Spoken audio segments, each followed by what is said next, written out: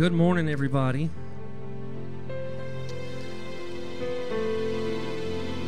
Good morning, everybody. Good morning. That's more like it. That's more like it. Welcome to church this morning. We're glad you're here. If you're joining us on the internet, welcome, welcome, welcome.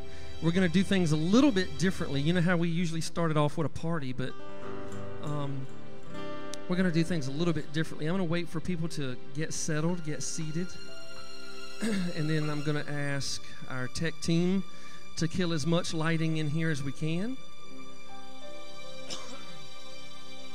And we're going to do things a little bit differently this morning. We're going to we're just going to uh, be still this morning. Get in front of God this morning with your thoughts, with your prayers, and I'm going to ask a couple of people to come up and voice some prayers for us. Um, I don't know how this is going to go. Um, I struggled all week with uh, the music selections and it usually comes very easy as I pray through it and I look at the song list, and it usually comes very easy and things one song after the other, but it didn't happen like that this week. So I just said, okay, what are you up to? And this is where he led me. So we're going to do that this morning. If you need to, uh, just worship him this morning. That's all I'm saying. That's all I'm saying.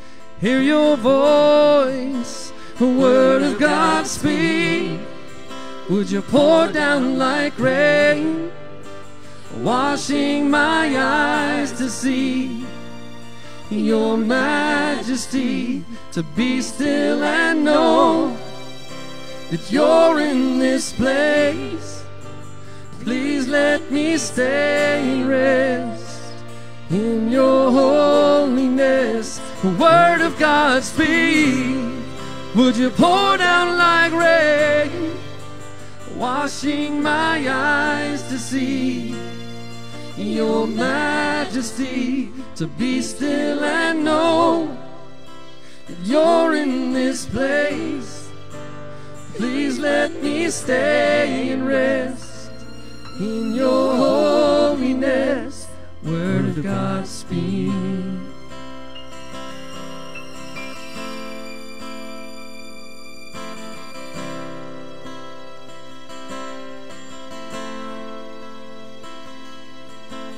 finding myself at a loss for words. And the funny thing is, it's okay.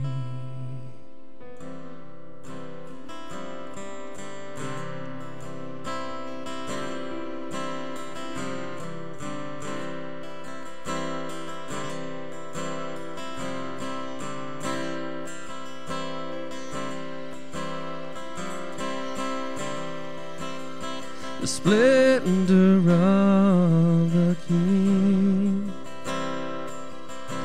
Clothed in majesty,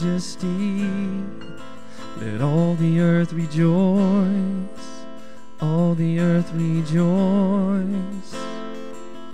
He wraps himself in light. The darkness tries to hide trembles at his voice, trembles at his voice. How great is our God! Sing with me, how great is our God! And all will see how great,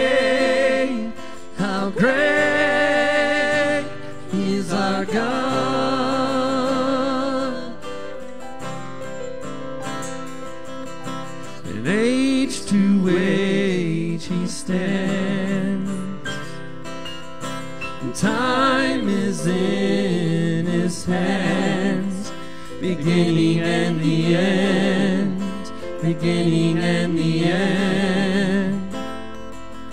The Godhead three in one. The Father, Spirit, Son. The Lion and the Lamb. The Lion and the Lamb.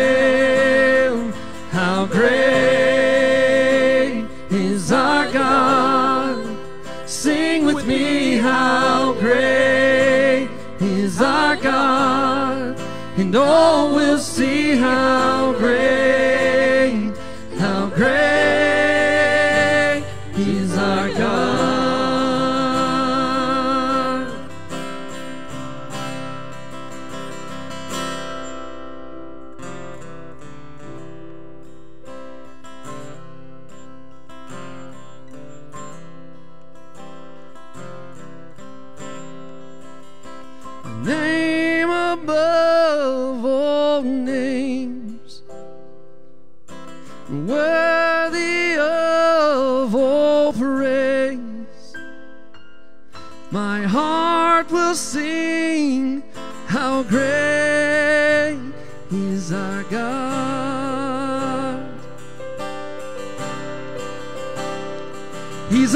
name above all names. You are worthy, worthy of all praise. So my heart will sing,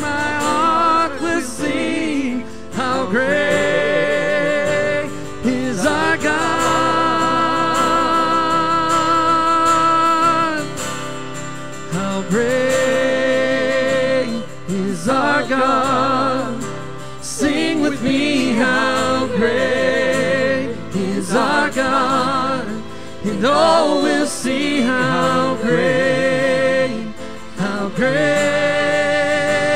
is our God. Come on, church, lift your voices. How great is our God.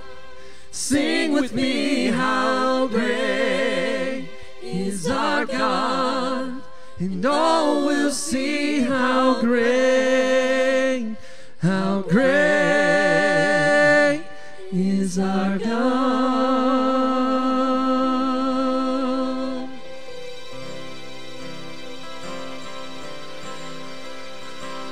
worthy of all our praise. Miss Glinda, you want to come on up? Miss Glinda.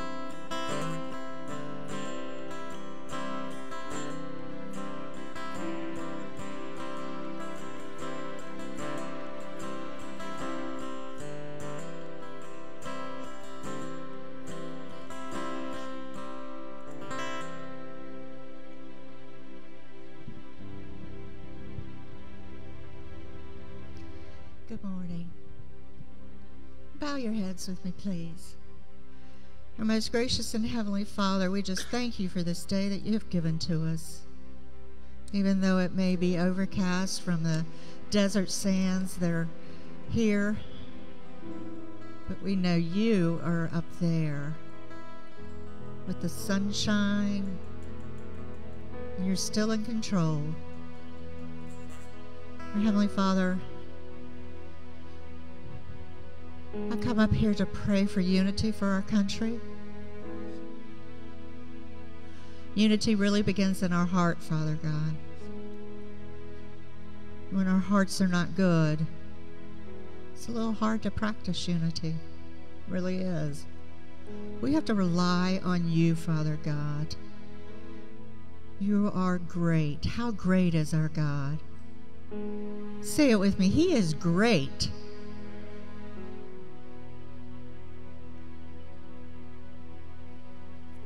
Father God, there's a lot of disunity in our country right now. We need to pray for a healing.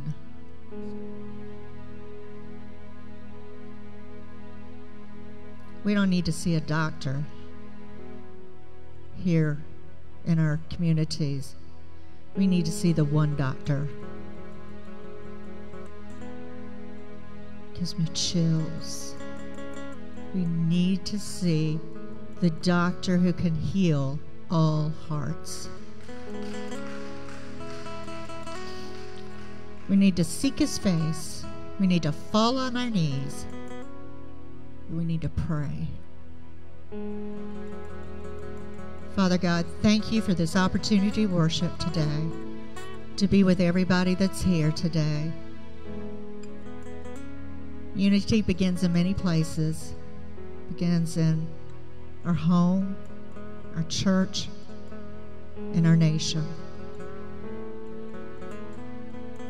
But the, those that are disunified need to seek your face and to know that you love them no matter what. His holy and precious name, amen.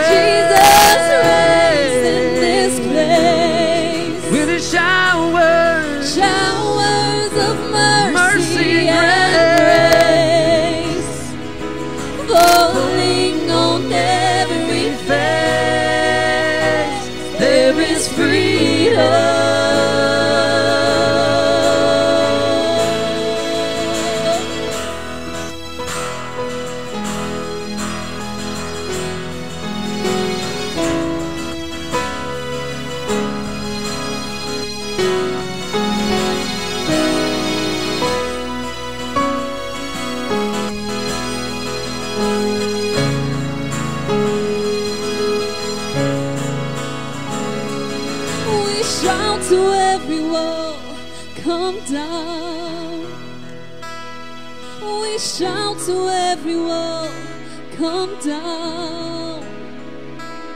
We shout to every wall, shout to every wall, there is freedom.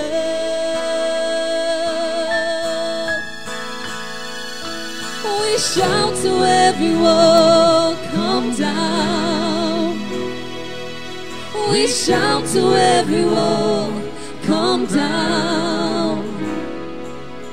We shout to every wall, shout to every wall, there is freedom.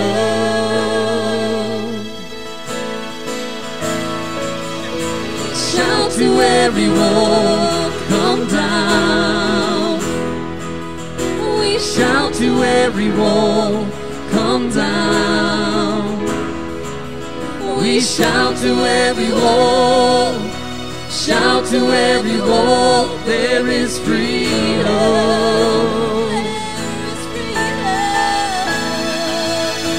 Freedom reigns in this place. Showers of mercy and grace falling on every face. There is freedom.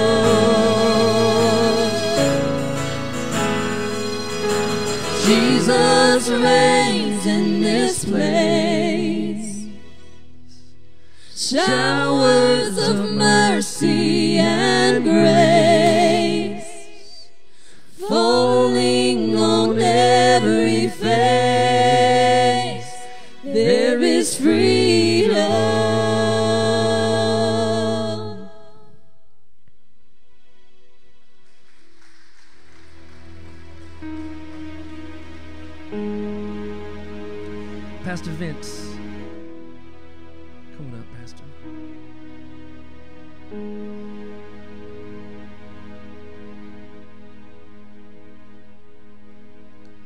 Let us all bow our heads in prayer. Our Father and our strong God, we come to you this morning acknowledging that you are strong and mighty, that you are mighty in power. We also come acknowledging this morning that you are not the author of confusion, but you are the God of love and peace. And we pray even now that you would help us as your people to reflect you, Lord God, to reflect love and peace for all mankind. We thank you this morning because we know that you are the creator and the sustainer of life. And you have created each and every one of us. And regardless of our skin color, whether we are black or whether we were, are white, we are all precious in your sight. And we were fearfully and wonderfully made by you. And so we ask even now that even as we are living in some highly racial, tensions, and tumultuous times, we're praying now that you would rain on us, Heavenly Father, that you would pour your Holy Spirit upon us, and that you would quicken us with your Spirit, that we may love one another, and that we would appreciate each and every one and receive one another as you received us. Help us to appreciate our differences, Lord God, our cultural differences, our differences in skin color. God, help us to appreciate the fact that you made us. And we love you, Lord God, and we appreciate the fact that you made us. Now, God, we pray that you would help us to learn to live with one another. The enemy would have us to think that we cannot, but the enemy is a liar. And we know right now that you, Lord God, are able to work in us and through us so that we may love one another. Lord God, we pray right now that you would help us to share the love of Jesus with all. And we thank you now for what you have done, what you're doing, and what you're going to do. We believe you're going to do great and mighty things, things that we know not. And so we claim victory and we shout, Hallelujah, Hallelujah, Hallelujah, and Amen.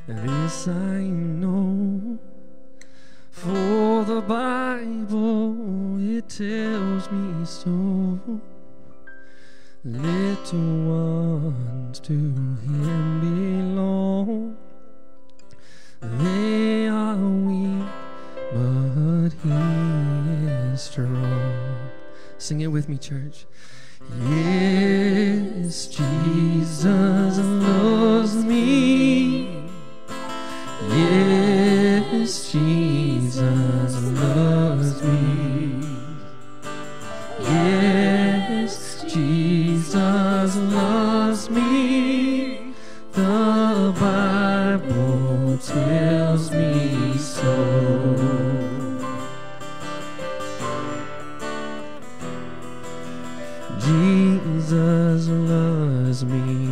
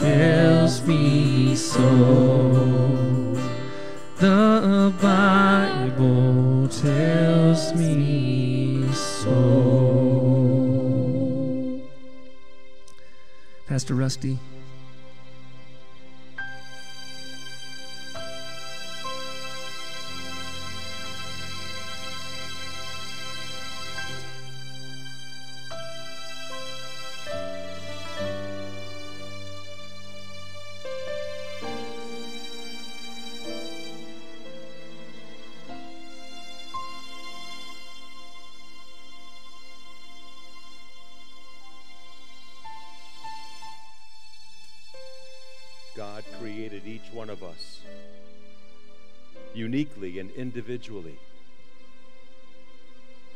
And He placed us in families and gave us circumstances to shape who we are and what we believe.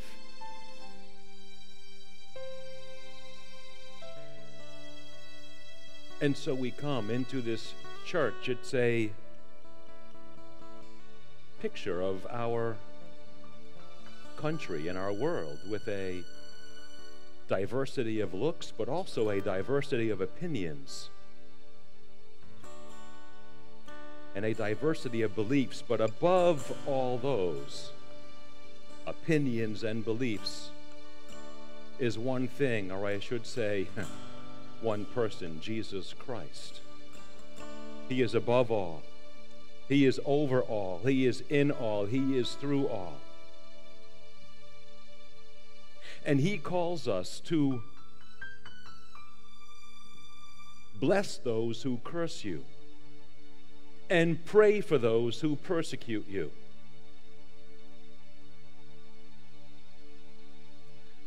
I'm just going to pause for a moment here. And I want you to picture someone in your mind on a national level right now who goes against everything you stand for. Whether you're way over here or way over there, you know who that person is. And I just want you to stop right now and ask God to bless that person and pray for that person right now.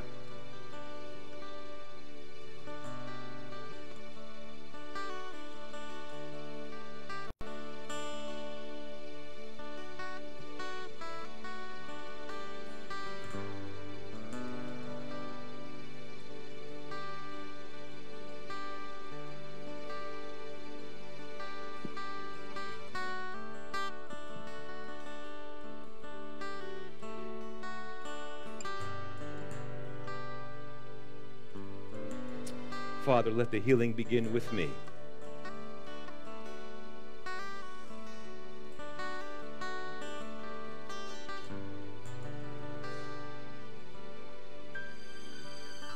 And Lord, it's easy to pray, oh, that you would save that person so that they would think like me.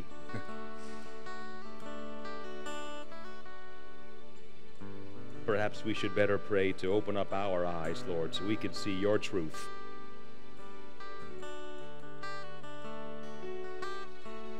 We don't see things as they are, we see things as we are. How do you want us to look at this situation, at this person, whatever that may be? Change me, Lord. Heal me, that I may be your ambassador of peace and your minister of reconciliation wherever I go. In Jesus' name, amen.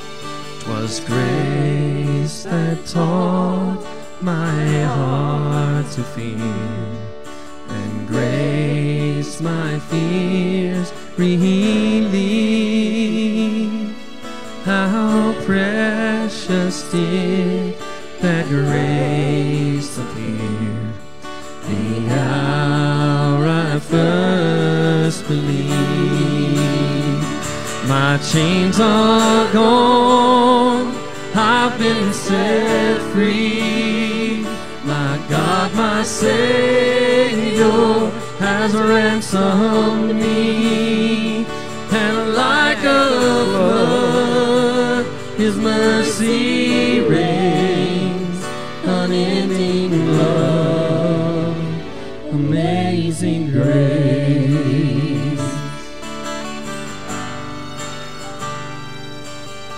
The Lord has promised good to me.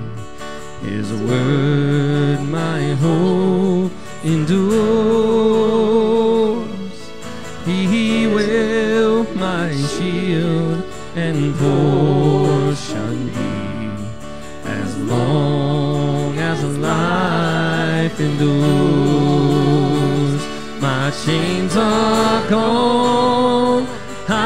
Been set free. My God, my Savior has ransomed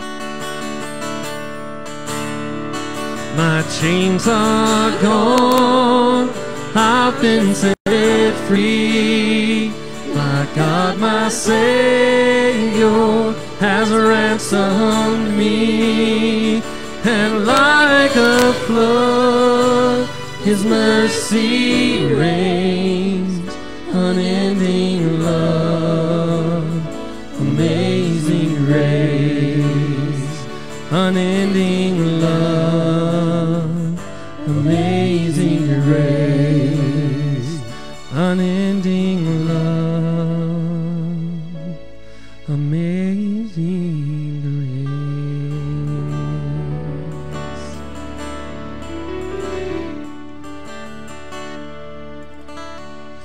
Father, thank you for this time together this morning, God, for getting each one of us here safely. We pray, God, that you've heard our prayers, you've seen our hearts, you've listened to our minds this morning, God.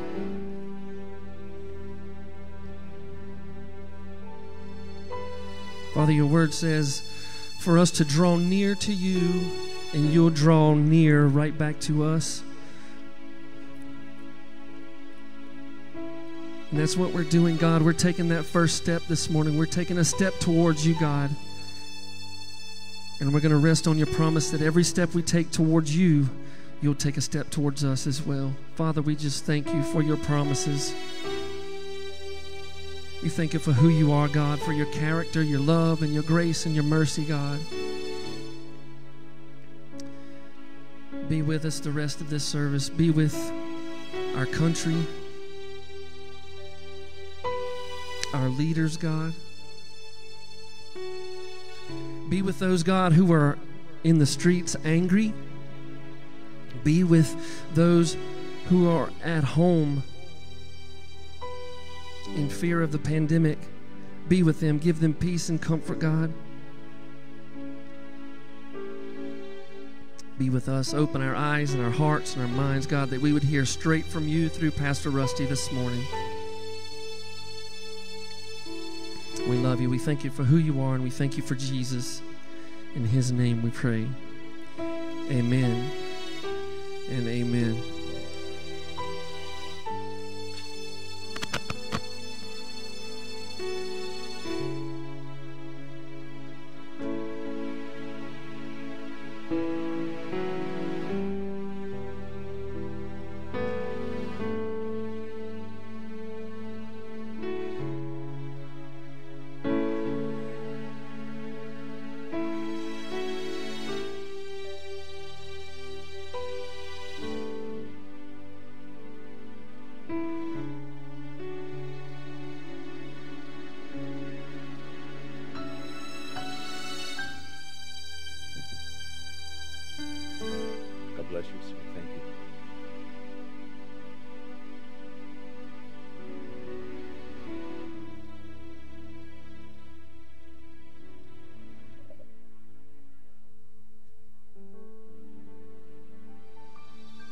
Hey, good morning, everyone. It's good to see you this morning.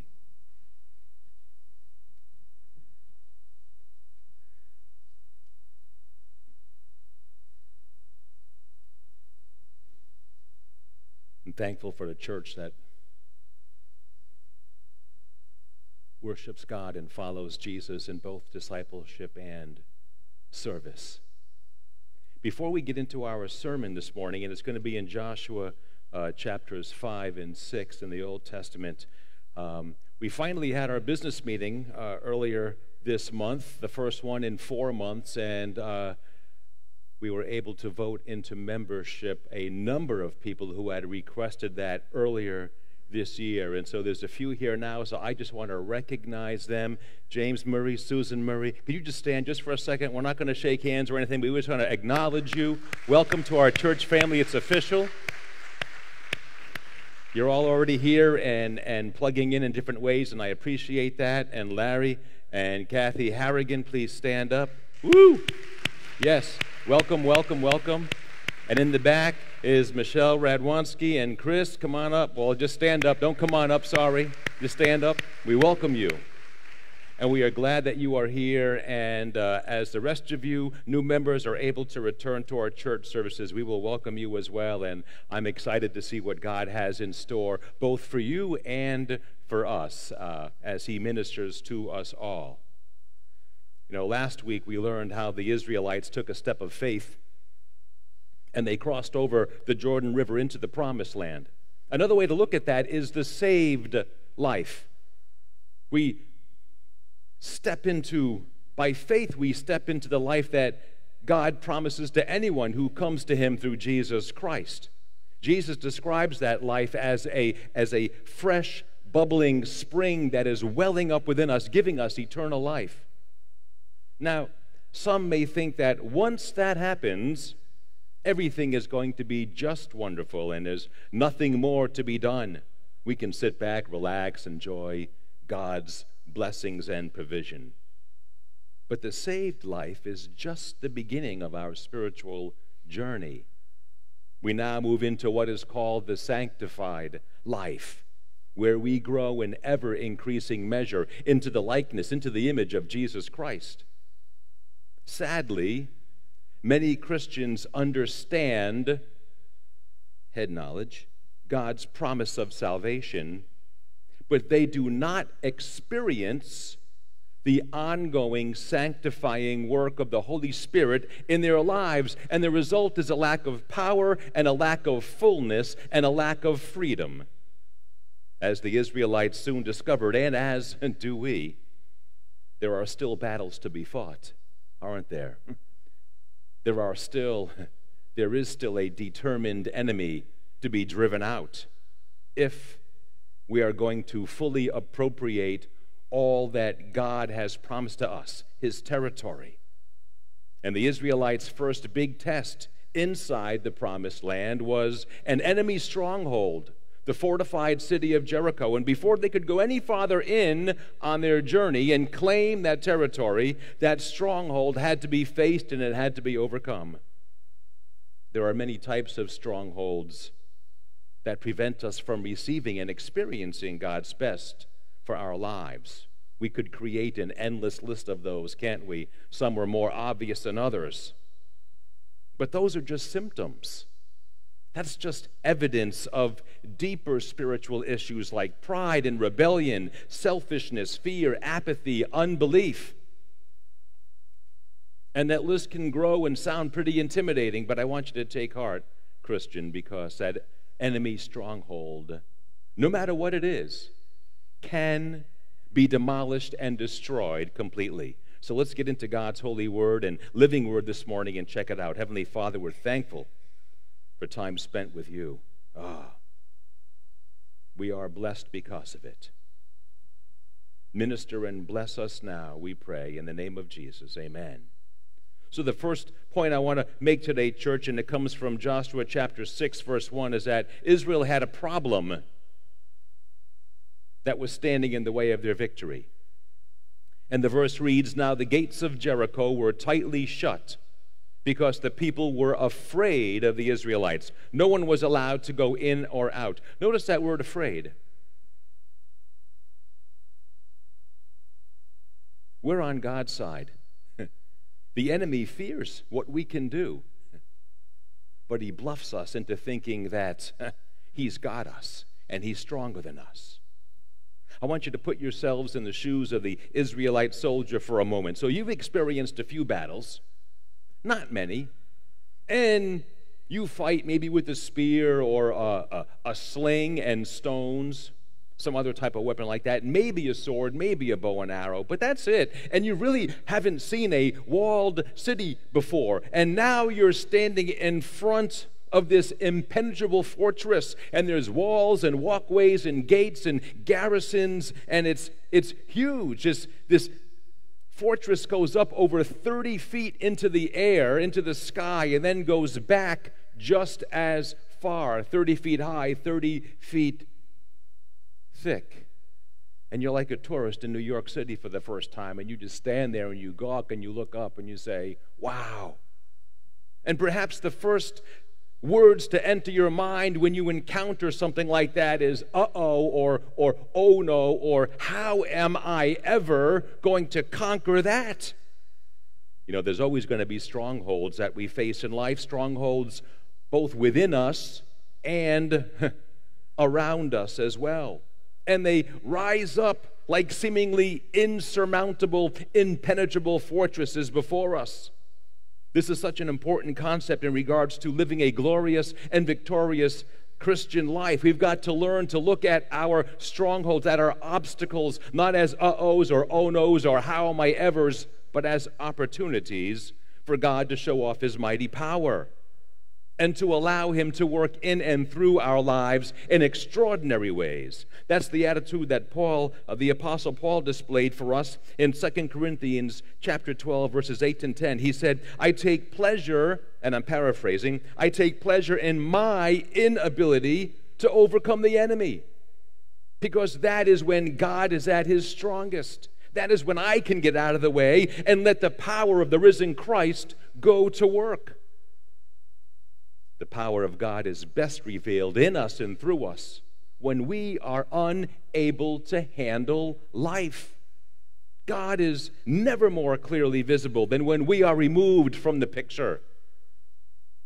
John the Baptist said it. The question is do you believe it? And more importantly, can you live it? I must become less.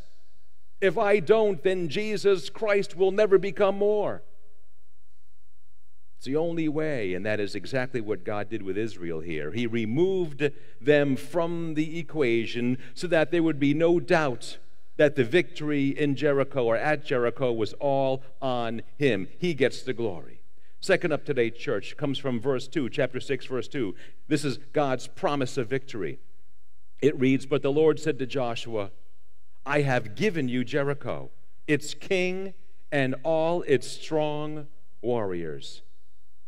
That word given is in the past tense. Christian, you don't just fight for victory every day, you fight from a position of victory every day. God promised them that victory before the battle was even fought. And as we face our strongholds, we can do so with absolute confidence in a victorious outcome because God, who is Jehovah Nissi, gives us his promises as banners to march under. You've got the verses and the references in your notes. I'm not going to read them, but we have his promise that his weapons are able we have his promise that he is able to turn every past defeat and present battle into victory. We have his promise that our ability is limited only by our faith. no limits. The only limits we place on, the limits that God has in and through our lives are the ones that we place on him. We have his promise of divine strength and power. We have his promise of ongoing, not sporadic, but ongoing victory. And we have his promise that we never, ever, ever fight alone. As we face the strongholds of life, we need to take God at his word and trust him for our victories. And I would be remiss here if I did not point out that all of God's promises, the ones I just mentioned, and all the other ones as well, including his promise of a victorious life they come true for us in Christ Jesus our savior and lord listen to 2 corinthians 1.20 for all of god's promises have been fulfilled in christ with a resounding yes and through christ our amen which means yes ascends to god for his glory. So when you say amen you give god the glory. Say amen. Amen. Give him the glory. You know after President Abraham Lincoln issued the Emancipation Proclamation, one Alabama slave was asked what he thought about it. And the man replied, I don't know nothing about Abraham Lincoln except they say he set us free, and I don't know nothing about that neither. And just like that man, the greater majority of all slaves continued to live out the rest of their lives in bondage even though they were legally set free. You know, the same is true with us spiritually. Jesus Christ has legally set you free. He did not suffer and die to have you live in bondage and defeat. That's what He saved you from. He saved you for victory, He saved you for freedom. Through His death and resurrection, He has issued every single one of you an emancipation proclamation. And with that, he says that he will be with you every step of the way, every battle that you face, every stronghold that you face until his victory and his freedom become a reality in your life. Let's check out God's plan for victory. This is uh, verses 3 to 5. You and your fighting men should march around the town once a day for six days. Seven priests, that's God's number of perfection, will walk ahead of the ark, each carrying a ram's horn. And on the seventh day, you are to march around the town seven times with the priests blowing horns. When you hear the priest give one long blast on the ram's horns, have all the people shout as loud as they can, and then the walls of the town will collapse and the people can charge straight in. Why did God give Joshua so many instructions to follow? Why Jericho? And why did the priests lead the way instead of the soldiers? Well, it was a test of faith for Joshua and the Israelites. And faith only grows through testing. Strange plans like that call for strong faith to go up against such a large, impenetrable fortress calls for strong faith. God didn't need to have them marching around a city for an entire week before He destroyed it, but that would not have grown their faith. They could have gone up against a lesser fortified city first, but that would not have grown their faith. What are you facing today? Look at it as an opportunity for God to stretch and grow and strengthen your faith. And the priests were a visual reminder to all of Israel that, as Zechariah the prophet says, it is not by might nor by power, but my, my spirit, says the Lord Almighty. His weapons have the power to demolish the strongholds of the enemy, not ours, his. The ability to overcome strongholds is not accomplished by our trying harder. It's accomplished through the power of the living God. And that power is appropriated into our lives through surrender.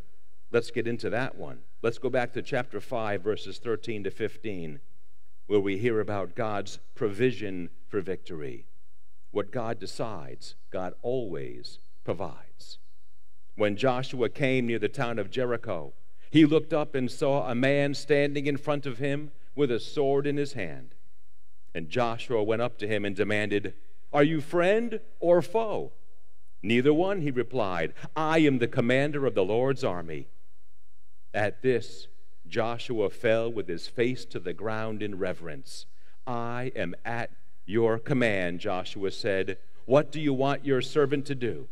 And the commander of the Lord's army replied, Take off your sandals, for the place where you are standing is holy. And Joshua did as he was told. Notice a couple of things here. First, the commander of the Lord's army did not come to take sides, he came to take over. And second, Joshua, who was the leader of all Israel, millions of people, and the commander of the Israeli army, submitted to that authority. If we want to achieve victory in our lives, if we want to see those strongholds come tumbling down, then we've got to understand who's in charge and do the right thing. Submit. That's what God wants from us, not so that He can see us grovel at His feet, but so that He can give us the victory. He wants what's best for us, and He knows what's best for us. He wants us to place our all in His hands and just trust Him to do what is best for our lives. That's where God's power is found. That's where God's provision is found. That's where the victory is won. and I know we all like to be in control, myself included. We all like to call the shots. We like to be the boss. And you know what? It shows. It shows in our defeats, it shows in our mediocrity, it shows in our always struggling and striving to get ahead. It shows in our lack of peace and joy. It shows in our being less than we could be and should be for God's kingdom and God's glory.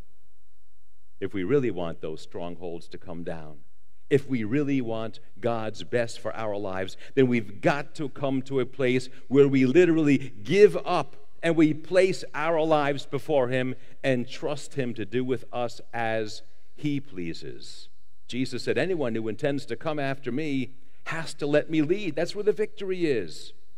It's the only way the strongholds are going to come down. It's the only way the victory is going to be won. You've got to accept Jesus as your sanctifier in the same way that you accept him as your Savior. You've got to abandon control. You've got to surrender. You can't make yourself holy. You can't make yourself victorious. You can't make yourself overcome or more powerful any more than you can make yourself saved. You've got to abide. You've got to abide in a continuous relationship with Jesus through obedience to his word. You know, the vast majority of American Christians are far more knowledgeable about Jesus than they are obedient to Jesus. No stronghold is insurmountable, none. When we face it in the Lord, Jehovah Jireh, the Lord who is our provider, and let Him provide. Next up today, church, comes from verses 17 to 19. And this is God's price for victory. There's always a price to be paid for victory, isn't there? Yes. And the greater the victory, the greater the enemy, the greater the price. The question is, are we willing to sacrifice to get it? Jericho and everything in it must be completely destroyed as an offering to the Lord. Only Rahab the prostitute and the others in her house will be spared, for she protected our spies. Do not take any of the things set apart for destruction or you yourselves will be completely destroyed, and you will bring trouble on the camp of Israel. Everything made from silver, gold, bronze, or iron is sacred to the Lord and must be brought into his treasury. In that marvelous vision known as God's peaceable kingdom, comes from Isaiah chapter 65. There's this image of the wolf and the lamb, and they're feeding together. The Russians brought an exhibit to the World's Fair many years ago, and it was titled World Peace. And in that exhibit was a large cage, and in the cage was a lamb and a wolf, and they were feeding peaceably together. It was a most impressive exhibit, one of the most attended as well. And one day the curator was asked the obvious question How do you do it? And he replied, Oh, it's very quite simple, actually. We just put a new lamb in the cage every morning. Our ongoing strongholds of sin and God's purity cannot peaceably coexist. We must make a commitment, as this verse says, to completely destroy that what God wants completely destroyed. Your life is sacred to Him, all of your life, not just your Sunday morning life, all of your life. The Israelites, you know, they started well enough in the promised land, but over the course of time, what happened? They got complacent and they found it was easier to make a peace treaty with the enemy than it was to completely destroy the enemy. And they lost their way because of it. We must be willing to pay the price, for compromise will always lead to defeat. We never compromise up, never. Strongholds don't start as strongholds, Where do they start as? Compromises. They start as footholds, and footholds are territories that we surrender to Satan in our lives.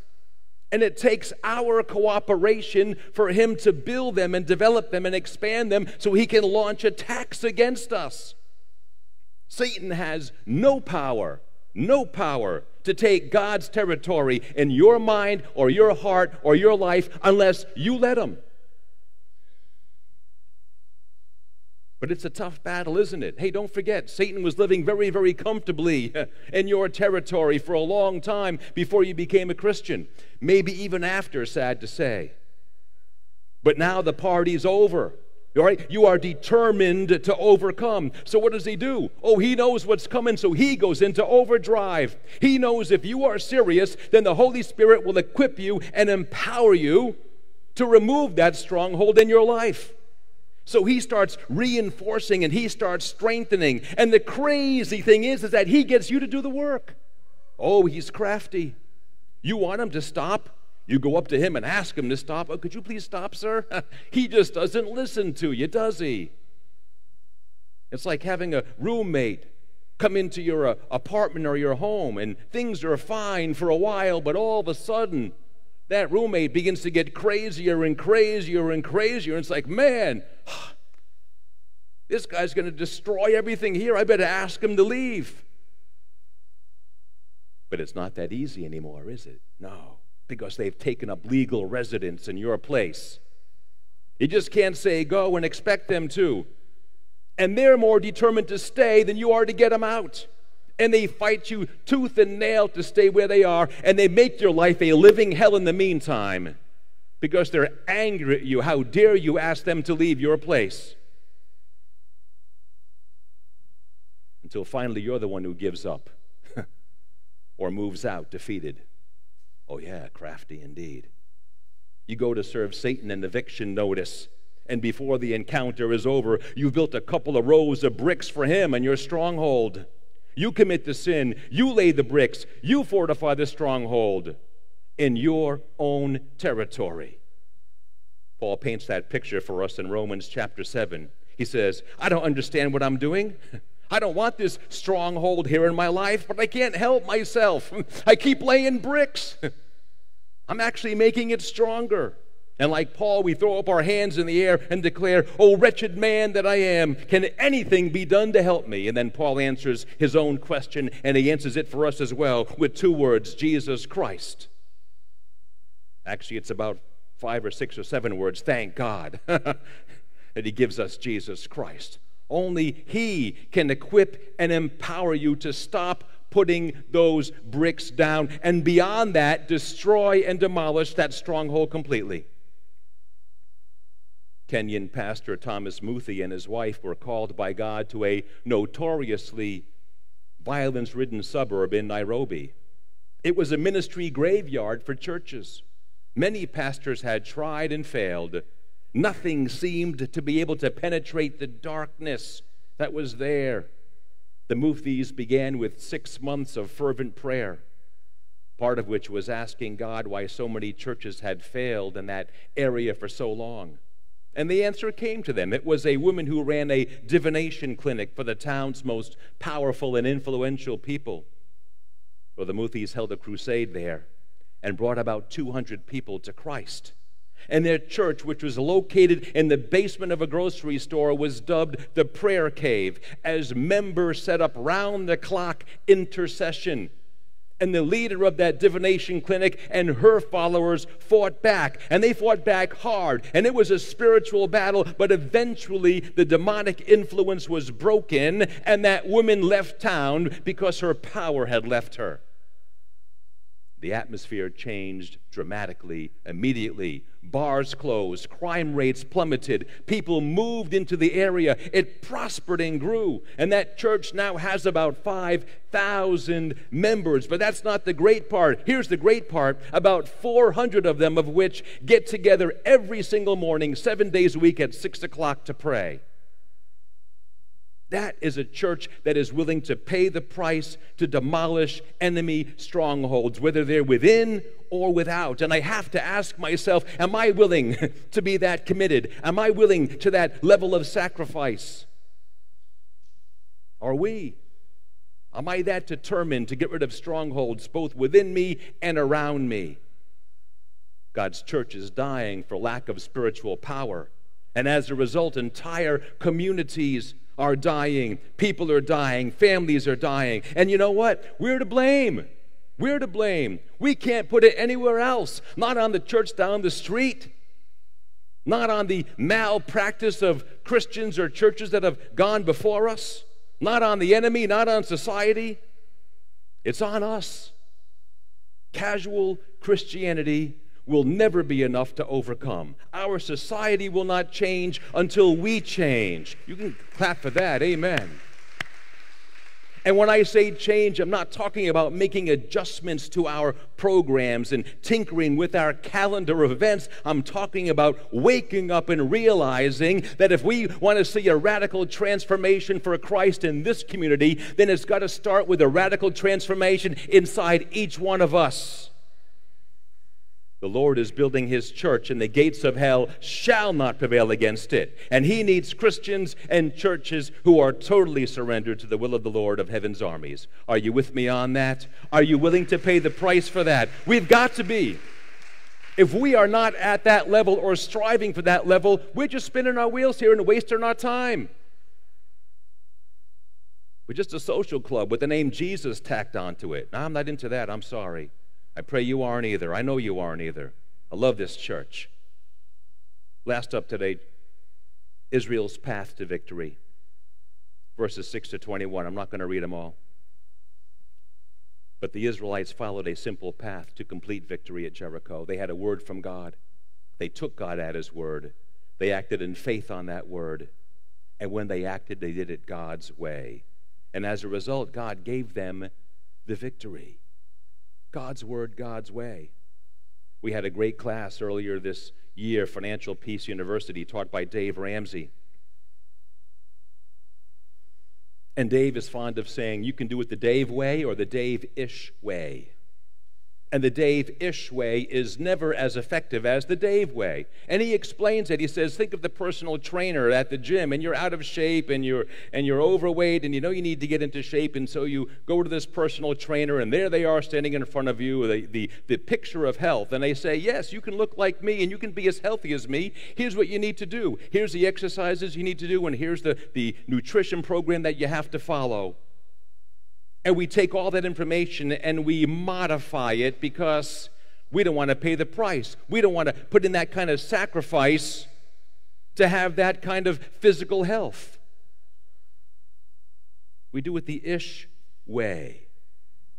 The same is true in our spiritual lives. God's word, God's way. That is the way to victory, not the God ish way. The God ish way will never amount to anything because we take God's plan that He gives us and we modify it to suit where we are and want to be comfortable at.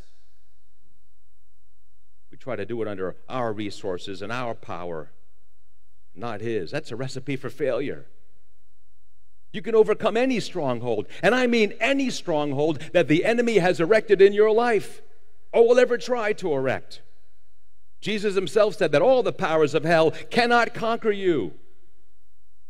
But the sad fact of this matter is, many Christians never enjoy real victory against the strongholds in their lives. Oh, we may win a battle here and there, we may get partial victory, but very few Christians, it seems, experience the absolute ongoing victory that is truly available, and I mean truly available to every child of God. God gives us the victory when we don't, excuse me, He gives us the victory, but we don't claim it. Let's read verses 20 and 21. When the people heard the sound of the ram's horns, they shouted as loud as they could, and suddenly the walls of Jericho collapsed, and the Israelites charged straight into town and captured it. They completely destroyed everything in it. God gave the Israelites the victory, but they had to go in and claim it. When God gives you a victory and those walls come down, you've got to do what the Israelites did. You've got to rise up and destroy everything that is associated with your Jericho, whatever it takes. Whatever it takes. I've dealt with people countless times over the years, and I can tell right away if they're serious about completely eradicating the enemy from their lives or not. I'll tell you what you're going to do. Why don't you give me a computer for the next three months? Oh, I can't do that. Don't waste my time. I know you're not serious. It doesn't matter what kind of stronghold you're facing. My God is still a miracle working God. And He's greater than any obstacle, and He can move any mountain, and He is stronger than any stronghold that you are facing today. And if the walls of your Jericho haven't already started to come down this morning, well, they can right here and right now. Oh, is that a cracking sound I hear? Is that a crumbling sound I hear? You bring it to Him and watch it happen. Amen. Accept nothing less than God's absolute best for you. An absolute, ongoing, victorious Christian life through faith in the risen Christ. Let's pray.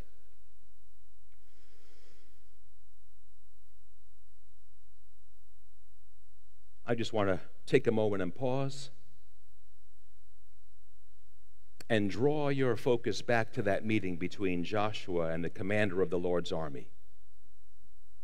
Are you there yet? Okay. Have you surrendered to his will for your life? Have you taken off your shoes before his holiness? Have you symbolically, maybe even literally, prostrated yourself before Him? You do that now. I don't care. This is a safe place. Just be who you are, be what God is calling you to be. Do it at home. Prostrate yourself before Him. And if you are ready for victory, then pray this prayer with me Lord, here I am. I need your help. And I know I can't be perfect no matter how hard I try. I can't do the things that need to be done. So help me. Empower me to be obedient to your commands because I know you can. And so I just stop my fighting, Lord, and I surrender my plans to you. I relinquish my will, all that I am all that I have, I yield to you. Do with me as you please, and I will rest in your authority and trust you to do what is right. In Jesus' name, amen.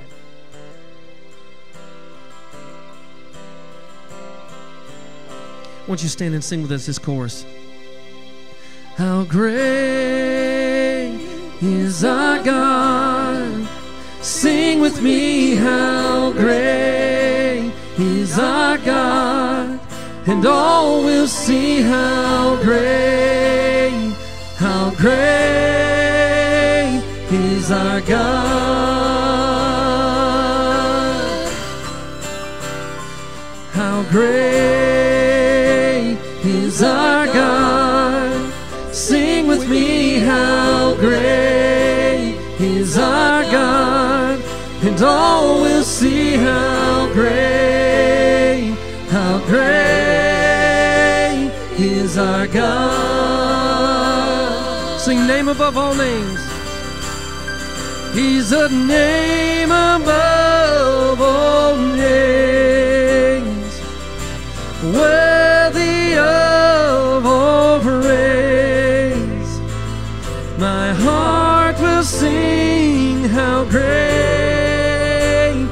is our God. How great is our God? How great is our God? Sing with me, how great